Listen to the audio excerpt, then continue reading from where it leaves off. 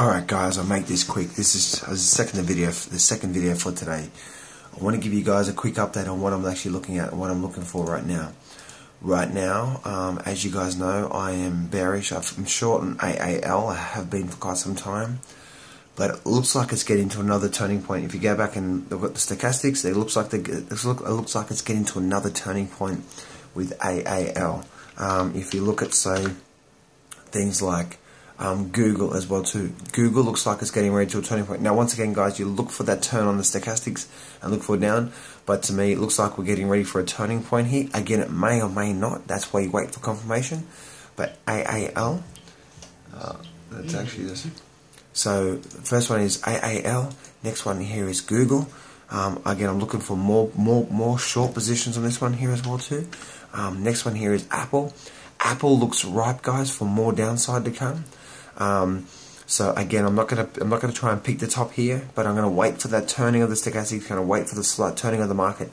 Then I'm gonna look for some shorts from there as well too. Um, and the last one on my list, guys, just so you guys, and I'll do a video about this on Monday, but I'm just doing my video camera here um, because you know because I don't normally do videos on, on during the day, but the next one guy I'm looking look next one guys I'm looking at is uh, GILD. I'm actually already got put option this one, but I'm looking to buy even more put options. It looks like it's getting ripe for another turning point here, and I think over the next couple of weeks we're going to see downward movement from these things here. So, um, anything else I just want to quickly share with you? Um, no, they're, they're you know they they are they are the main ones.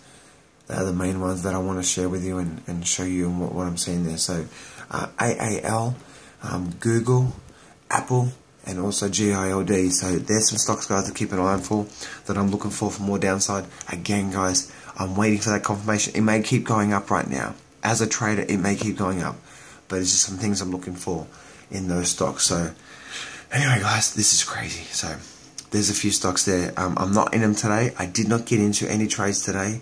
Um, I did not get into any more put options today or any, or any more call options today.